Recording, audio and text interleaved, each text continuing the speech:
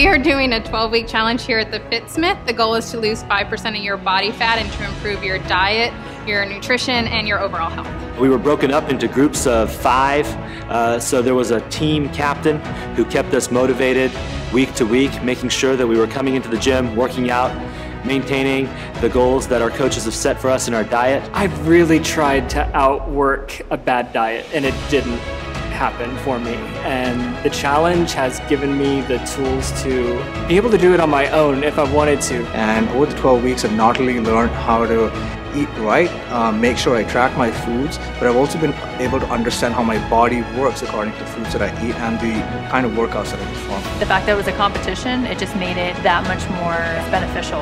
You had other people in the same boat as you and you were able to connect with them at the gym and outside the gym and you have a support team. So you, you won't get that if you just try to do this on your own a lot of times.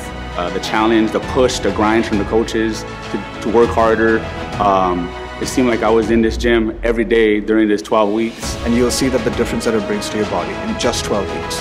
I lost 8.6%, um, 18 pounds of fat, and over 4 inches in my waist. So I lost uh, just shy of 16 pounds, and I lost 6.4% of body fat. And it's amazing, I lost my tire right here. I lost about 12 pounds and about 5 inches in my waist. I have lost 25 pounds, 5% body fat. I lost over 20 pounds and 4% body fat. It's funny because my clothes fit so much better. Like halfway through, I bought new jeans, and now six weeks later, I need to buy more jeans. And I've never had that type of transformation over the course of a few months. And it was just a great opportunity to get the support from the coaches and the team uh, that I was on.